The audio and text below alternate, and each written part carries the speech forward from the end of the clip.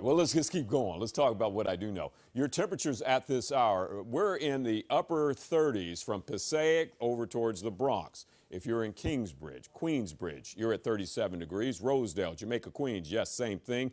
Uh, if you're in Brooklyn over to Staten Island, eh, Staten Island, you're in the mid 30s. 36 Jersey City, 36 Newark. We're above freezing, but again, as I always say to the children, listen to your parents, you do need layers this morning, obviously, if you're four degrees above freezing. No precipitation at this hour unless you're out in the Hamptons, and it looks like we'll be dry today as high pressure sets up over us. Story number two, uno, dos, feeling like spring.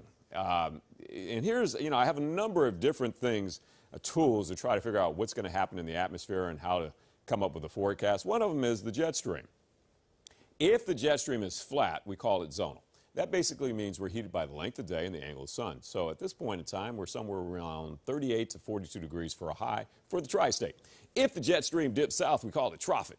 And that opens the door uh, to Canada. At this time of year, not good. That allows the brutal cold Arctic air on top of the tri-state. We were there a couple days ago, and uh, so things are going to be changing, though. Now we're looking at the jet stream ridging.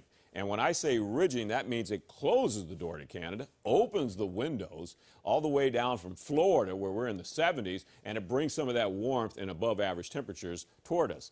So if you're looking at the jet stream right now, or if you're walking around, I'll tell you the jet stream's troughing. So that means the door is open to Canada. And those, that colder air goes all the way down to Raleigh. So today, we're going to be a little bit above average, feeling okay in the low to mid 40s. Unless you're in Jersey, there is a chance, Jersey, you get to 47. 47 degrees is possible.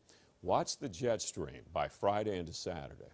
You see it's ridging in a big way. You see that temperature down in Atlanta at 63. We're at 75 where our family and friends are down in South Beach and down in Florida and Orlando over to Tupelo, Mississippi. That temperature is going to head up this way with those 50s, 60s possible by Saturday. 50s and 60s possible by Saturday. You see the upper 50s, but I'm telling you, if it's 59, 58 degrees over the boroughs in Jersey, that's essentially 60 degrees, right?